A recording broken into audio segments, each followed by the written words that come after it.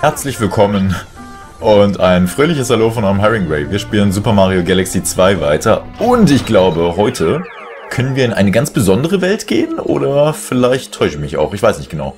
Wir gehen hier mal weiter und gucken, was passiert, wenn wir diesen Durchgang freisprengen. Raumschiff Mario kann jetzt noch weiter fliegen.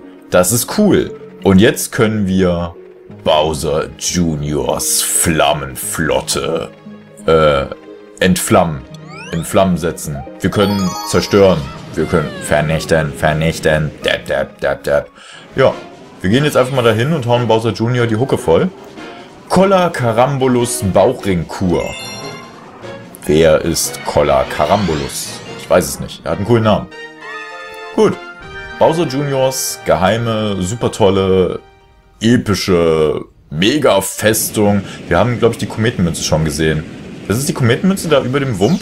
Eventuell ist sie das. Oh, guck mal, wie er auch schöne Statuen von sich selber hat machen lassen. Jetzt mal, also, wie kann Bowser das alles so finanzieren und zulassen? Und ich weiß nicht, ich verstehe das nicht. Irgendwie, da müsste doch auch mal, die müssten da doch, auch die Gefolgsleute von Bowser müssten doch dann gewissermaßen irgendwie mal so einsehen, dass das alles vielleicht manchmal ein bisschen zu viel ist. Vielleicht tun sie auch mal irgendwie zwei Schlösser weniger im Endeffekt. Die werden ja von Mario sowieso immer zerstört, wenn wir ganz ehrlich sind. Also nicht immer zerstört, aber meistens, oftmals werden sie zerstört, oder? Ich glaube zumindest schon. Äh, in Super Mario World war es ja ganz besonders krass, weil äh, da hat ja der gute Mario mal so richtig zugelangt, um die alle dermaßen kaputt zu hauen. Äh, das war doof, aber man kommt darauf, oder? Glaube, dass man dort hinaufkommt. Dies entsprach vollkommen der Wahrheit und schon habe ich die Kometenmünze eingesackt. Gut, dann wäre das schon mal die halbe Miete. Jetzt können wir noch dazu diesen äh, wunderbaren Durchgang hier aufsprengen. Haben die so einen Bildhauer oder sowas im Cooperland? Der Knochentrocken. Hui! Oh, Knochentrocken. Warum bist du nicht mehr so ein cooler Fahrer in Mario Kart 8 wie noch in Mario Kart DS. Moment, gibt es Knochentrocken überhaupt in Mario Kart 8? Ich bin jetzt gerade so ganz klein bisschen... Gibt's doch gar nicht mehr, oder? Ich glaube, er wurde wegrationalisiert. Warum bist du kein Fahrer mehr in Mario Kart 8? Verstehe ich nicht. Knochentrocken war so cool. Mario Kart DS und so. Kann sich noch irgendjemand dran erinnern? Er war zusammen mit... Au. Yoshi jedenfalls einer der besseren Charaktere. Aber da hat das... Mario Kart DS haben auch gewisse Dinge einfach noch anders funktioniert. Da kam nicht alles auf die Schwergewichte an. So, was ist das hier? Kleiner Tipp. Dreh dich im Sprung, wenn du nur wenig Platz zum Landen hast. Soll ich's dir? Nein. Na gut, das schaffst du auch allein. Ich brauche diese ganzen Fernseher nicht. Wer hat die überhaupt dahingestellt? Und überhaupt und sowieso. Kleiner, süßer Kamek, du machst hier ganz viel Kladderadatsch und da schaffst einfach so ein paar Koopas. Äh, Quatsch, Koopas, Gumbas. Das ist ja... Hm. Moment, ist es überhaupt Kamek? Oder war das es gibt ja nur den einen Kamek, aber dafür gab es Kemax, die irgendwie zaubern können und so und auch seinen Job übernehmen. Ich weiß nicht mehr genau, wie das war. Jetzt haben wir in jedem Fall mehr Lebensenergie, was helfen könnte, um hier weiter voranschreiten zu können und eventuell einen Bossgegner kaputt zu hauen. Sofern es hier so etwas gibt wie einen Bossgegner. Wing, wing, wing, wing, wing. Wahaha. Bist du also wirklich so weit gekommen? Dieses Wahaha klang jetzt mehr wie, Ma wie Vario, aber naja. Ich brauche Papas Hilfe nicht, um mit dir fertig zu werden. Kolla Karambolus, dein Abendessen ist fertig. Aber denk dran, auf deine Bauchringe aufzupassen. Hm. Der Tipp hätte jetzt, also, das hätte jetzt nicht sein müssen. Colla Carambolus ist also... Oh. Es ist tatsächlich eine... Eine normale Lebensform, die lebt. Ich hätte jetzt gedacht, dass wir gegen irgendetwas Maschinenmäßiges antreten müssen. Aber vielleicht habe ich das auch falsch in Erinnerung. Vielleicht war das mehr in Mario Galaxy 1, wo man äh, gegen etwas Maschinenmäßiges gekämpft hat. So, okay, Bauchringe. Ich verstehe das Konzept einigermaßen. Einigermaßen. Ähm, ja, du kannst ganz toll futtern. Das machst du super. Super machst du das. So, okay. Einmal, zweimal, dreimal. Und die Batterieanzeige meiner Wii-Fernbedienung ist äh, am Austicken, weil ich irgendwie nur noch wenig Saft habe. War aber schon mal ganz gut bis hierhin, glaube ich. Äh, ja. Schlag dir nur deinen Wanst voll. Versuch es, versuch es. Und jetzt wieder, genau, so eintauchen. Okay. Und jetzt müsste ja irgendwo hier dann mal sowas kommen wie... Aha. Und... Ach, scheiße. Ja, nicht so ganz. Doch, irgendwas habe ich getroffen jetzt zum Schluss. Aha, aha, aha. Kann ich hier noch... Ah, hätte ich den Sprung erwischen können? Vielleicht ja, vielleicht nein. Ich weiß nicht. Ups, die Dups. Ja, okay, okay, okay, okay, okay, okay. Ist cool, ist cool, ist cool, ist cool, ist cool. Einfach nur ein bisschen Abstand halten und dann im richtigen Moment. Bam! Ich glaube, das war einfacher als gedacht.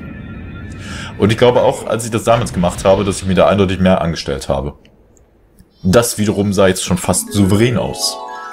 Etwas, was man nicht unbedingt gewohnt ist, gewohnt ist, wenn man meine Let's Plays verfolgt, aber ja, das, das hatte gerade viel Schönes. Ich wurde auch nicht mal großartig getroffen oder so und kann jetzt diesen wunderbaren Powerstern der unfassbar großen Größe einsammeln, um damit das Tor in eine neue Welt zu öffnen. Oder so. Glaube, darauf läuft das Ganze ein ganz klein wenig hinaus. Das ist im Endeffekt das, was man am ehesten noch diesem Spiel hier vorwerfen kann, oder? Das ist ein bisschen zu linear ist.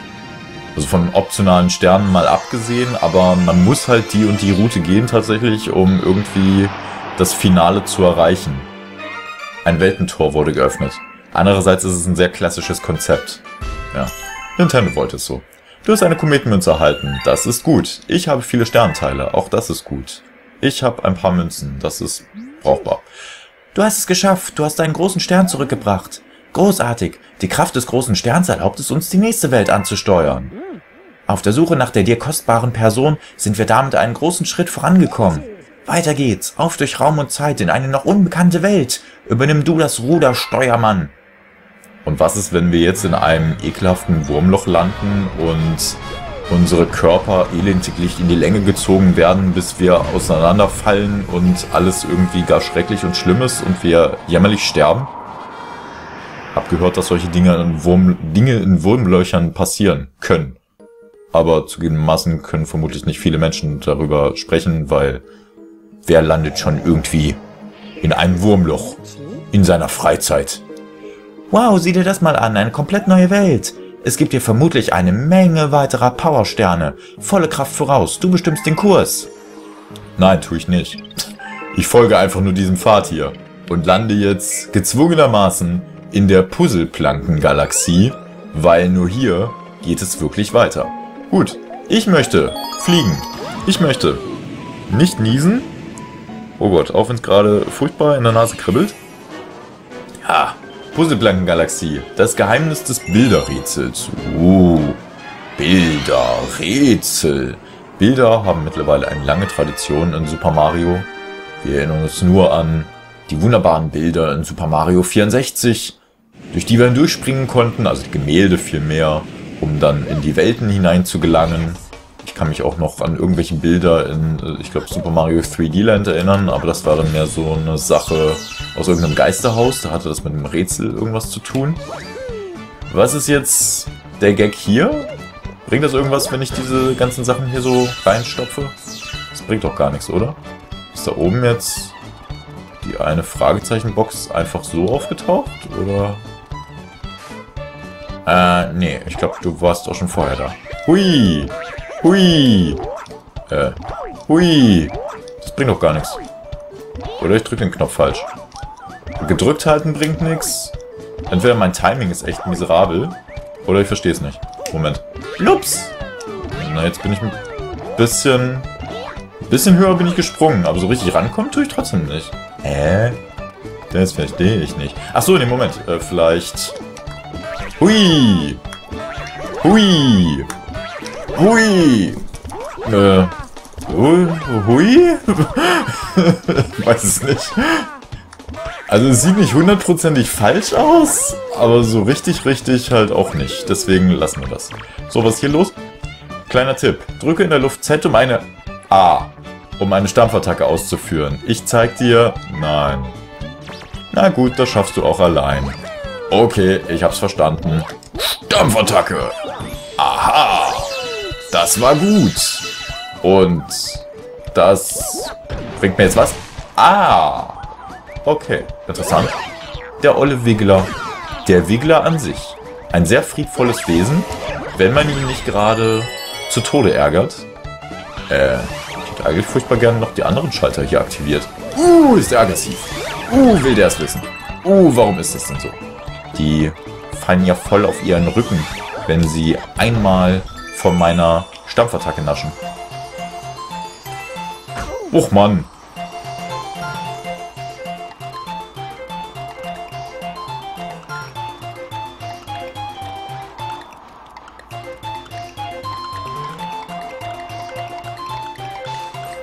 Ach Mann. Scheiße, ich war zu langsam. Aber die Musik war schön. Super Mario World. Ah, gibt es. ich mag diese Not dieses Konzept der Noten total. Haben sie ja in Mario Galaxy 1 eingeführt und gibt es vielleicht auch nur noch hier in Mario Galaxy 2. Ich weiß nicht genau. Aber die Idee ist voll schön. So alte Mario-Melodien dann nochmal so auf die Art und Weise zu bringen. So, dass man sie eben vollständig hört, wenn man einmal komplett über, ja, wenn man einmal komplett alle Noten eben einsammelt. Aber naja. Hallo, wer bist denn du? Ich bin so hungrig, gibst du mir 70 Münzen bräuchte ich an der Stelle. Oh, wie wäre es, wenn du 70 Münzen findest und zu mir bringst? Okay. Wie sollte ich jetzt an der Stelle schon 70 Münzen haben? Hat das was hiermit zu tun? Vielleicht. Moment. Das hier sieht aus wie... Ja, das hier sieht aus wie, du kannst hier ganz viele Münzen einsammeln, wenn du dich nicht gänzlich dumm anstellst. Ups. Und leider habe ich ein Talent darin, mich gänzlich dumm anzustellen. Naja, fast. Kriege ich hier auf diesem Planeten noch acht Münzen zusammen? Vielleicht im hohen Gras? Ich sollte nur aufpassen, dass mich kein Pokémon angreift. Ähm, nicht ganz fehlt noch was. Du schenkst mir auch Münzen. Vier noch. Ja, ja, ja, ja. Das sieht gut aus. Das sieht, oh, das ist wundervoll. Okay. Optionaler Stern. Here we come. Ich bin so hungrig. Gibst du mir, wenn ich... Aber sicher. Oh, fein. Ich habe gerade einen solchen Kohldampf drauf. Om, nom, nom, nom, nom, nom, nom. Muss doch voll ungesund sein eigentlich, oder? Das ist Hartgeld. Wer will denn bitte schön Geld essen? Geld ist zum Zählen da, Geld ist zum drin baden da, aber Geld ist doch nicht zum Essen da. Verwandlung! Lung, lung, lung! Wei! Ein neuer Planet wurde geboren. Sieht nur ein bisschen aus wie der Baum aus Kirby. Also so von der Seite sah er gerade so aus. Wie stumpf, stumpf. Oder Wispy Woods, je nachdem. Ähm, Hui. Ja, bis hierhin alles in Ordnung. Und schon ändert sich das Setting der Welt hier eigentlich komplett. So herbstlich auf einmal. Was bist du denn? I. Ein riesengroßer II-Käfer, der Fui Fui macht. Ähm. Ups. Der Fui Fui macht. Was mache ich denn jetzt mit dir? Ups. Ich glaube... Ja, ich glaube, ich hätte auf seinen Rücken springen müssen damit irgendetwas ganz und gar Magisches passiert. Und vielleicht sollte ich auch dazu übergehen, auf seinem Rücken eine Stampfattacke zu vollführen. Das wäre jetzt aber nur so mein Gedanke. Bam! Käfer tot klatschen. I. Na, ugh, nö, muss das denn sein? Warum, warum haben olle Käfer so Flügel und so? Warum können die fliegen? Das ist widerlich und sollte verboten werden. Lups! So, okay. Aber ich wette, für Käfer sind Menschen auch widerlich, deswegen passt das schon. Bam! Weil wir sie immer tot machen und so und irgendwie... Das Leben als Käfer muss echt blöd sein. Ich weiß nicht, ich weiß nicht, wie viel Insekten davon tatsächlich mitbekommen oder so, oder inwieweit... Das ist halt immer so eine Frage, ne? Wie, wie viel Gehirn in so einen kleinen äh, Körper passt. Oder ob nicht im Endeffekt doch irgendwie alles nur Instinkt ist oder wie auch immer, oder so eine Mischung aus Gehirn. Haben Insekten überhaupt nachweislich ein Gehirn? Ich habe keine Ahnung. Ich kenne mich mit sowas nicht aus. Im Endeffekt will ich es vielleicht auch gar nicht wissen. Aber äh, ja, ihr wisst so einigermaßen vielleicht, was ich meine. Äh, ich meine, da gibt's ja alles im Endeffekt kann irgendwie so eine Art Persönlichkeit haben und so. Und äh, man sollte, man sollte keine armen kleinen Lebewesen totklatschen, nur weil man größer ist. Außer sie nerven wie olle Mückenviecher oder dergleichen, dann kann man das vielleicht schon mal vertreten. Aber ansonsten, äh, man sollte keine Viecher totklatschen. Nicht so wie Mario es gerade getan hat. Das war gerade ein Verbrechen an der Natur, was wir quasi begangen haben. Ich jetzt stellvertretend. Aber, naja, okay. Es musste sein. Er ließ mir keine andere Wahl. Du hast einen geheimen Stern erhalten. Uns stinkt der Stinkkäferkönig. Mhm. Er hat gestunken. Aber jetzt haben wir ihn für den Moment einfach mal beiseite geräumt. Raumschiff Mario kann noch weiterfliegen. Wäre bestimmt eine super tolle Idee. Während du unterwegs warst, habe ich die Galaxienkarte ein wenig geändert. Schau sie dir einmal an. Galaxienkarte geändert? Hast du diesen Toad gesehen? Er brabbelt die ganze Zeit etwas von Post und Brief vor sich hin. Habadabada. Post und Brief. Worum geht's denn da? Geh mal rüber und sprich ihn an, dann hat das Gemurmel endlich ein Ende. Okay.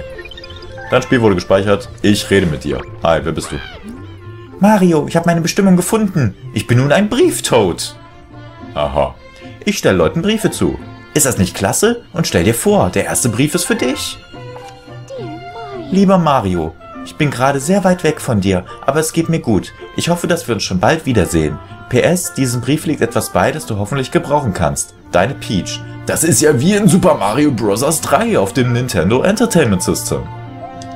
Da einem auch immer Briefe geschrieben. Diesem Brief lag ein One-Up-Pilz bei. Äh, was nicht gespeichert wird. Ich liebe es. Selbst in Gefangenschaft ist die Prinzessin noch wunderbar fürsorglich, wie rührend. Also dann bis zum nächsten Mal. Cool. So, ich möchte äh, einzahlen. Hallo, ich bin der Lagertoad. Dank mir kannst du einfach und lagern und lagern und wenn du allein und überhaupt nimm diesen Bonus, da du... Wow, 5 Sterndinger. Wuhu. Dann jetzt bitte mehr Sternteile lagern. Äh, alles einlagern, was wir haben. It's over 2000. Okay. Das sind ganz schön viele Sternteile. Schau mal, ich habe das hier im Lager gefunden. Wie wäre das für... Schon wieder ein One-Up-Pilz. Hä? Jemand könnte mir die Blubs stibitzen. Da trage ich jetzt diesen Schild. Wäre er nur nicht so schwer. Interessant. Verändert er noch weiter sein Aussehen, je mehr ich... Je mehr Sternteile ich bei ihm bunkere? Irgendwann steht er da mit einem fetten Raketenwerfer oder so. Irgendjemand könnte mir die Sternteile ja stibitzen. Hoppadoppadoppadop. Wäre irgendwie interessant. Was warst du nochmal für einer? Wenn du das Spiel verlassen willst, drücke auf einer langen... Okay, alles klar. Ja, ist eigentlich auch ein ganz guter Hinweis. Ich würde jetzt ganz gerne tatsächlich das Spiel speichern und beenden. Und dann setzen wir unsere lustige kleine Super Mario Galaxy 2 Tour beim nächsten Mal fort. Wir haben noch viel zu tun in diesem Spiel. Äh, ja, bis hierhin ist es erstmal okay. Aber die schlimmsten Sachen kommen ja auch noch. Wie es halt meistens so ist. Ich sag für den Moment dann aber trotzdem erstmal wieder Tschö mit Ö und hoffentlich bis ganz, ganz bald.